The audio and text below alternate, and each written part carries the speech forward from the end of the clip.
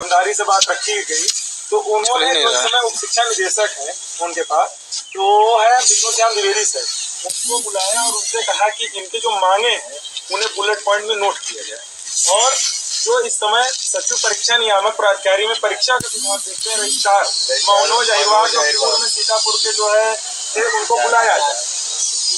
तो उनको कल ग्यारह बजे बुलाया गया है हमारी सारे मांगों को फिर से एक नोट पे करके उनको मेल कर दिया गया कि कल इन्हीं बातों पे इन्हीं पॉइंट पर ही चर्चा हो। सामने बैठ के वार्ता होगी वहाँ पर जो दो लोग बाद में विष्णु श्याम सर पास बुलाए गए थे हम और बिहार जी इनको भी बुलाया गया है मनोज अहिरवार सर रहेंगे डायरेक्टर सर रहेंगे रहेंगे, विष्णु श्याम द्विवेदी सर रहेंगे और आपके सारे डॉक्यूमेंट्स को वहाँ पर जमा कर दिया गया है। वो वास्तव में इस चीज़ में फंस चुके हैं कि डायरेक्टर सर ने विष्णु श्याम सर से पूछा कि कैसे कंप्लीट हो गई? कोर्स की टीचिंग कैसे कैसे कंप्लीट हो गई? कैसे पॉसिबल पूछा। तो उन्होंने कहा कि संजय जी ने किया था तो हमने वहाँ एक बात बोली सर संजय जी ने किया था कि अब अनिल भूषण सर क्या बात तो सचिव परीक्षा नियामक प्राधिकारी है उस कुर्सी की पद की बात होती तो उन्होंने कहा कि आपकी बात जायज़ है। मनोज अहिरवार सर को मेरे सामने ही विष्णु श्याम सर ने फ़ोन भी किया था और उन्होंने कहा, वो तो बातें हो चुकी हैं, हमने रिटर्न में भेजा है। तो उन्होंने कहा कि डायरेक्टर सर का ऑर्डर है। आपको आना है, ग्यारह बजे आप यहाँ आएँगे। यहाँ दो लोग रहेंगे डायरेक्टर सर रहेंगे, हम रहेंगे। पूरी बातों को क्लियर किया जाए। पूरे मुद्दे का सार आज जो अड्डा टीम गई थी, पूरे आपके एक बात को शुरू से लेके आज तक क्या हुआ, क्या नहीं हो सारी बातों को फिर से उनको बताया गया लगभग तीस से तीस मिनट तक हम लोग विष्णु श्याम सर के पास थे और उनका पॉजिटिव रिस्पॉन्स वो ये कह रहे हैं हम लोग तो चाहते हैं यहाँ पर काहे जो है वो ना? वहाँ पे। सुची चतुर्वेदी मैम भी थी विष्णु श्याम सर भी थे। सबने ये आश्वासन दिया है कि ठीक है आपकी मांगे हम लोग समझ रहे हैं। और इस पे पॉजिटिव काम किया जाएगा। कल इसीलिए मीटिंग बुलाई गई है। सामने फ़ोन किया गया था। अहिरवार सर को नहीं किया गया था। वो किया गया था। सचिव सर। सचिव सर को फ़ोन किया गया था को। कि उनको भेज दीजिए। कल ग्यारह बजे यहाँ पे मीटिंग है और यहाँ पे वो चीज़ें तय होंगी। वो अपने पॉइंट रखेंगे। हम अपने पॉइंट रखेंगे। ये जान लीजिए पूरी दमदारी से आपके पॉइंट रखे जाएँगे। उनको हर जगह पे नतमस्तक किया जाएगा। ठीक है?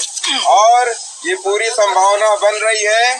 कि आपकी मांगे मानी जा सकती हैं। ठीक है, आप सब बिल्कुल भी परेशान मत हो। जो हो सकता था, जितना हो सकता था, आप लोगों ने सहयोग किया। आप लोगों ने, आप लोग अपने यहाँ मांग लेकर आए, इतना जन समर्थन आया। इसीलिए आपकी बात वहाँ पर सुनी जा रही है। नहीं तो साफ़ साफ़ नकार दिया जा रहा था। कि नहीं करेंगे। अब ऐसा कुछ नहीं कहा जा रहा है। अब कहा जा रहा है कि हाँ ये पॉइंट थे। क्योंकि वहाँ ऊपर से भी आदेश आया है कि ऐसा ऐसा है तो संस्था ने ऐसी गलती क्यों की है? क्या कारण थे जो ऐसी गलती की है? तो इस गलती को छुपाने के लिए, इस गलती को सही करने के लिए यहीं पर ये फंसे हुए हैं। ठीक है? और इसका हम लोग बिल्कुल विरोध करेंगे। अगर वो परीक्षा कराने को, इसका एक एक और इम्पैक्ट आ सकता है वो ये कह सकते हैं कि ठीक है, आपका सब सब कुछ कंप्लीट है तो आपकी दोनों परीक्षा हम करा देते हैं। इस पे नहीं तैयार होंगे बिल्कुल भी, क्योंकि जिस परीक्षा के लिए छह छह महीने का समय दिया जाता है, आप उसको दस दिन, पंद्रह दिन में कैसे करा सकते हैं? इसलिए पूरी दमदारी से एक ही बात रखी जाएगी कि हमको प्रमोट ही कीजिए, क्योंकि हमको कहा गया था, हमारे साथ इसी बात पे धोखा किया गया। ये कहा गया था, हमको कि प्रमोट करेंगे और फोर्थ की परीक्षा लेंगे। तो जो कहा गया था, उसे कंप्लीट कीजिए। इसीलिए हमारी टीचिंग इसीलिए हमारी इंटर्नशिप कंप्लीट कराई गई।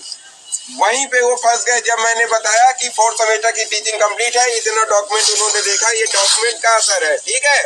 इसीलिए मंगाया गया था ये डॉक्यूमेंट वो डॉक्यूमेंट देखा, कहे, इतना डॉक्यूमेंट लेके आए हैं। क्या है ये? Sir fourth semester teaching complete हो गई, कार मुक्ति है। सभी जनपदों के हैं, ठीक है? उन्होंने पूछा विष्णु श्याम सर से, ये कैसे हो गया? तो फिर यही मामला फंस गया है कि ये कैसे हो गया ठीक है? अब इनको प्रमोट करना ही होगा। कल वो आएँगे हम लोग पूरी बात रखेंगे और उनकी हर बात को काटेंगे। बात ये है आप ये मानिए कि एक अधिकारी दूसरे अधिकारी से सवाल कर रहा है दूसरा तीसरे से कर रहा है तीसरा चौथा से कर रहा। है, क्यों? सवाल कर रहे हैं। सारे के गले में फांसी तो लग चुकी है। अब वही है नहीं करेंगे तो हम टांग लेंगे।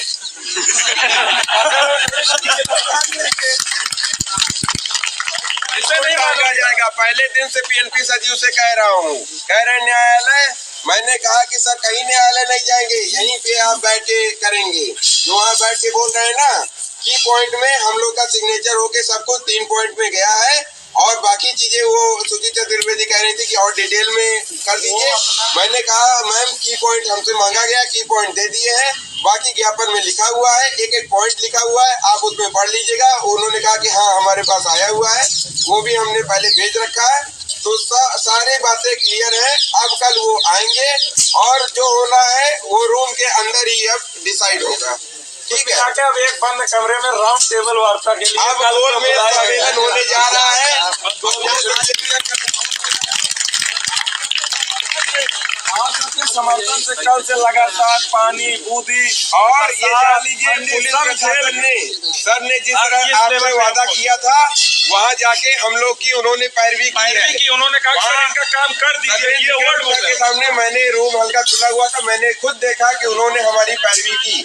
उसके बाद सर्वेन विक्रम सर ने पूरी पॉइंट टू पॉइंट तीन चार पॉइंट में सारी बातें सुनी उनसे सवाल किए उसके बाद कहे अरे नहीं भैया सब ना करो भाई मत करो प्लीज़ मत करो। हो काम हो जाने दो भाई काम हो जाने दो ज़रूर मैं खाने के बाद पेपर लेकर काम होने के बाद आप सब लोग जिंदाबाद हैं ठीक है सब लोगों ने मेहनत की है जितने भी साथी हैं अरे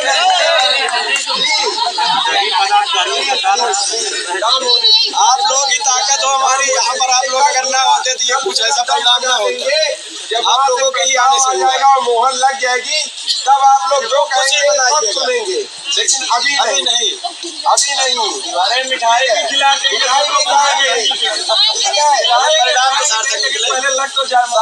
लक्ष्मी जी जितना पकवान सब लड़कियों को आपने खिलाया है हम भी आके खाएँगे ठीक है बस आप लोग बस प्रार्थना करते रहिए भगवान से कि कल उनको थोड़ी सी सद्बुद्धि आए और हम लोग उनको सुना पाए ठीक है ये भी है कि हम लोगों ने अभी जब बोला कि कल राउंड टेबल वार्ता होनी है कोई धरने की और कोई वहाँ पे संख्या बल या हल्ला करने का मतलब नहीं है और ठंड का भी मौसम है बारिश भी लगातार है मौसम विभाग के अगर आप देखे होंगे तो भी बारिश की संभावना है तो हम सीटेट का भी काफ़ी साथियों का पेपर भी लगा हुआ है हम आप सबसे अनुरोध करेंगे कि आप सब घर निकल जाए आगे अगर ज़रूरत पड़ेगी तो फिर से आह्वान किया जाएगा। लेकिन कल पहले जब शासन स्तर